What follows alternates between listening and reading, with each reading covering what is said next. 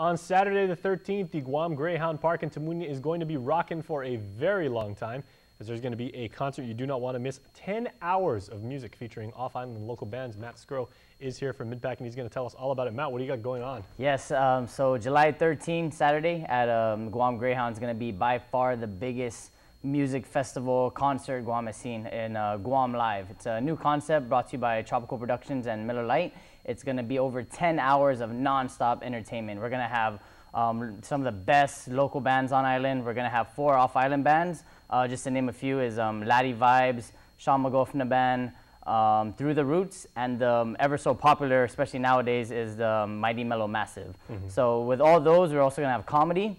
We're going to have a, a, beer garden, a wine garden, and um, some just some nonstop entertainment for 10 hours. Um, I know some people might think, oh, it's just a regular concert, but something like this on this scale has never been done before on Guam, where it's just um, constant entertainment throughout the entire day. Mm. So it's kind of like a little bit like Lollapalooza? Uh, something arts. like that. Yeah, yeah, something like that, where we're just showcasing more of the local talent. And then um, a, one thing um, to note is that all the off-island bands somehow have um, some roots towards the Marianas or mm. Guam, whether it be one band member, two band members, but um, each one of these uh, bands have uh, some tie back to Guam, which is why, which is what Guam Live is all about, mm -hmm. just enriching the talent of our local community. Okay, so since it goes on for 10 hours, when do you guys start and how late does it go? Because that, that's kind of key. Because you know some some people get to play you know when the, when the sun is up and that can make for some interesting situations. Some people play like right at sunset, which yeah. You know if they're playing slower songs, obviously is yeah, amenable um, to couples and uh, everything will start at uh, 3 p.m. That's when doors open, and right when doors open, that's when the music starts playing. Again, before our off-island bands come, we have some of the most talented um, artists on Guam, uh, such as the Dollhouse, the DJ uh, Huber Experiment, um, the um, uh, what's that called? Um, let's see, just a lot of a lot mm -hmm. of mm-hmm. uh, off-island bands and good local bands as well. Mm -hmm.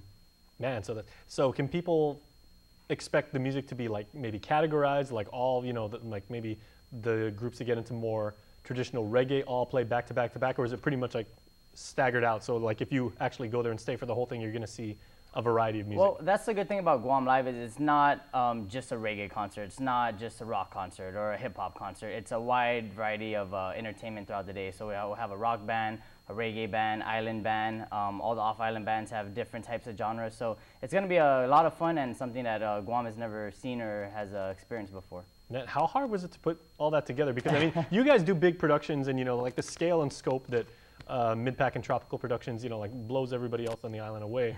Um, either you know attending the concert or you know just putting it together. But how are the logistics of actually handling a 10-hour festival?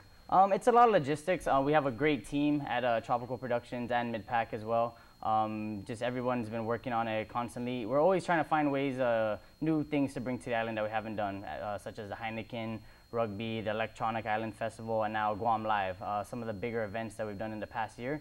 So that's the great thing about Tropical Productions. Um, we're always trying to bring something new to the people of Guam. Mm -hmm. Are there any spots open, like if people are watching this and they're like, you know, we've got like a little band of our own or you know um, we're actually doing a competition there's one slot open from another local band um, all you got to do is check out the guam live uh, facebook mm -hmm. and then um, all the instructions are there on how to how to join uh, i think you just need to post your youtube video of your band and you automatically get a chance to to win. It's all about likes and shares. So um, check out Guam Live on Facebook. Very cool. You, yeah. YouTube can work for you, ladies and gentlemen. it worked for Arnel from Journey, so it can yeah. work for you too. All right, Matt. Thanks. Thank thanks you. as always, man. Good luck. That's a that's a good show. All right, my friends, that's all the time we have. Thank you so much and have a wonderful weekend. Good night.